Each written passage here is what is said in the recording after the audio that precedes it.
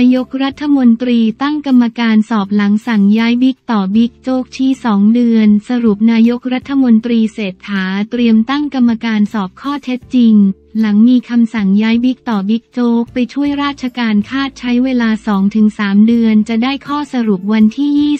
20 มีนาคม 2567 รายงานข่าวจากทำเนียบรัฐบาลเปิดเผยว่า หลังจากที่นายเศรษฐาทวีสินนายกรัฐมนตรีและรัฐมนตรีว่าการกระทรวงคลังมีคำสั่งให้พลตำรวจเอกต่อศักดิ์สุขวิมลผู้บัญชาการตำรวจ และพลตำรวจเอกสุรเชษฐ์หักพานรองผู้บัญชาการตำรวจเข้ามาช่วยราชการที่สำนักนายกรัฐมนตรีและมอบหมายให้พลตำรวจเอกกิตรัฐพันเพชร รองผู้บัญชาการตำรวจทำหน้าที่รักษาการผู้บัญชาการตำรวจ โดยลงนามคำสั่งเมื่อบ่ายวันที่ 20 มีคอ นั้นล่าสุดนายเศรษฐาได้เตรียมออกคำสั่งตั้งคณะกรรมการสอบสวนข้อเท็จจริง กรณีที่เกิดปัญหาขัดแย้งในสำนักงานตำรวจแห่งชาติ และมีการกล่าวหากันไปมา ถึงเส้นทางการเงินไปเชื่อมโยงกับแก๊งพนันออนไลน์รวมทั้งมีการกล่าวอ้างว่ามีการกลั่นแกล้งตั้งข้อหาเพื่อให้มีผลต่อการแต่งตั้งผู้บัญชาการตำรวจ โดยคณะกรรมการสอบสวนจะได้ตรวจสอบข้อเท็จจริงที่เกิดขึ้น เพื่อนำไปสู่ผลสรุปให้นายกรัฐมนตรีพิจารณาต่อไปสำหรับคณะกรรมการสอบสวนข้อเท็จจริง ที่นายกรัฐมนตรีแต่งตั้งประกอบด้วยนายฉัดชัยพรมเลิศ อดีตปลัดกระทรวงมหาดไทย นายชาติพงศ์จีรพันธุ อดีตรองอายการสูงสุดพลตำรวจเอกวินัยทองสอง อดีตรองผู้บัญชาการตำรวจแห่งชาติ ผู้สื่อข่าวรายงานด้วยว่านายเศรษฐามอบหมายให้คณะกรรมการชุดนี้สอบข้อเท็จจริงให้ได้ข้อสรุปภายใน 2-3 เดือน เพื่อพิจารณาว่าจะย้ายนายตำรวจทั้งสองกลับมาทำงานตามปกติหรือไม่ หรือจะให้ช่วยราชการสำนักนายกรัฐมนตรีต่อไป อ่านข่าว ด่วนให้ ผู้บัญชาการตำรวจบิ๊กโจ๊ก เข้ามาช่วยงานสำนักนายกรัฐมนตรีมอบกิจรัฐ รักษาการอ่านข่าว สะดุ้งทั้งตำรวจฟ้าผ่าเสียงดังสนั่นระหว่าง บิ๊กต่อบิ๊กโจ๊กแถลงข่าวสยบขัดแย้ง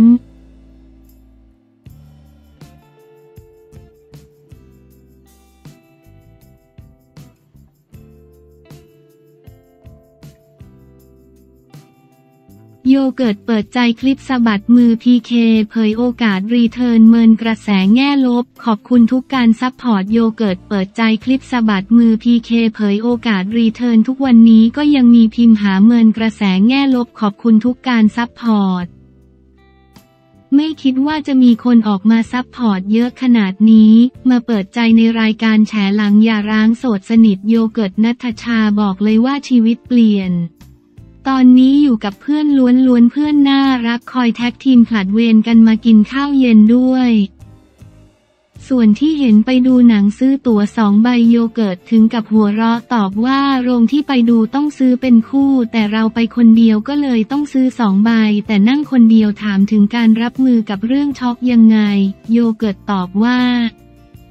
พยายามจะตัดการแก้ไขปัญหาด้วยอารมณ์ ใช้เหตุผลในการแก้ไขปัญหาล้วนๆมองภาพกว้าง ไม่ใช้อารมณ์ตัดสินใจยืนยันจบกันได้ด้วยดี ไม่อยากจบแล้วโกรธกันทุกวันนี้ยังสามารถคุยกันได้เจอกันได้ เป็นแบบที่พูดในรายการเลยถามถึงคลิปในรายการคุยแซบโชว์ปากบอกจบกันได้ในคลิปสะบัดมือ PK คือยังไงโยเกิร์ตตอบว่าไม่รู้เหมือนกันว่าทำไมภาพถึงออกมาเป็นอย่างนั้น แต่ว่าไม่ได้มีความตั้งใจ ที่ให้มันดูรุนแรงหรืออะไรอย่างนั้นเลยอย่างที่บอกเราจบกันด้วยดีจริงๆ ไม่ใช่แค่ปากพูดทุกวันนี้ก็ยังมีพิมพ์หาถาม how are you อะไรอย่างนี้เป็นพี่น้องที่ดีต่อกันโยก็ยังหวังดีต่อเขาอยู่ เมื่อถามถึงโอกาสจะรีเทิร์นกลับมาอยู่ด้วยกัน โยเกิดหัวเราะ กล่าวว่าถ้าตอบแบบดาราตอบกลางๆ ก็คือเรื่องอนาคตเป็นอย่างไรไม่รู้ได้ ตอบกลางๆแบบดารา หัวเราะ ถามว่าเหตุการณ์ครั้งนี้สอนอะไรเราบ้าง โยเกิดกล่าวว่าสอนให้เราได้กลับมาพิจารณาตัวเองว่า เป้าหมายสำคัญในชีวิตของเราคืออะไร จุดมุ่งหมายสูงสุดในชีวิตของเราเป็นอย่างไร ทุกอย่างการกระทำของเราได้นำพาเราไปถึงจุดนั้นหรือยัง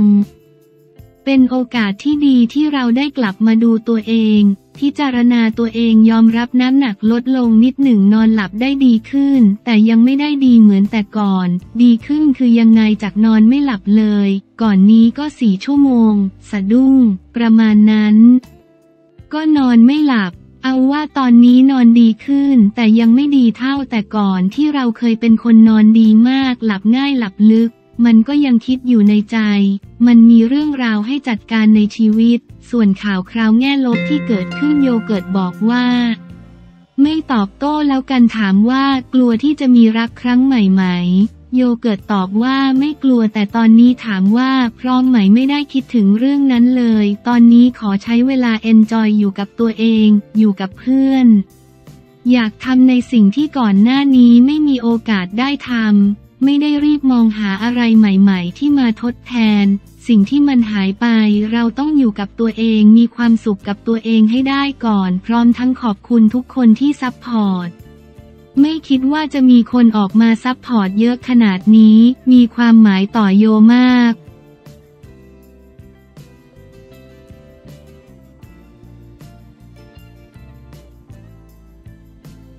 นายกรัฐมนตรีเซ็นคำสั่งตั้งคณะกรรมการสอบปมขัดแย้งเรื่องคดีในตำรวจ รายงานใน 60 วันวันที่ 20 มีนาคม 67 นายเศรษฐาทวีสินนายกรัฐมนตรีลงนามคำสั่งเรื่องแต่งตั้งคณะกรรมการตรวจสอบข้อเท็จจริงและข้อกฎหมาย กรณีปรากฏเป็นข่าวต่อสาธารณะเกี่ยวกับความขัดแย้งในเรื่องคดีของบุคลากรภายในสำนักงานตำรวจแห่งชาติ ตามที่สำนักนายกรัฐมนตรีได้มีคำสั่งสำนักนายกรัฐมนตรีที่เศษ 106 ส่วน 2567 เรื่องให้ข้าราชการมาปฏิบัติราชการสำนักนายกรัฐมนตรี ลงวันที่ 20 มีนาคม 2567 นั้น โดยกรณีดังกล่าวเป็นเรื่องที่อยู่ในความสนใจของประชาชนอย่างกว้างขวาง และมีผลกระทบต่อภาพลักษณ์ของสำนักงานตำรวจแห่งชาติ ซึ่งเป็นองค์กรที่จะต้องรักษาความสงบเรียบร้อย ความปลอดภัยต่อชีวิตและทรัพย์สินของประชาชน ตลอดจนความมั่นคงของราชอาณาจักรตามหน้าที่และอำนาจที่รัฐธรรมนูญกฎหมายกำหนดไว้ การที่ปรากฏเป็นข่าวต่อสาธารณะต่อเนื่องติดต่อกัน มีการแบ่งฝักแบ่งฝ่ายและมีการดำเนินคดีตามกฎหมายซึ่งกันและกันจนเป็นที่ประจักษ์ทั้งในสำนักงานตำรวจแห่งชาติและประชาชนทั่วไป จนกระทบต่อการบริหารงานบุคคล และงานด้านกระบวนการยุติธรรมส่งผลต่อความเชื่อมั่นของประชาชน และอาจทำให้ประโยชน์ของทางราชการเสียหาย จึงเป็นเหตุสมควรที่สาธารณชนจะได้มีโอกาสทราบข้อมูล ข้อเท็จจริงและข้อกฎหมายที่ถูกต้อง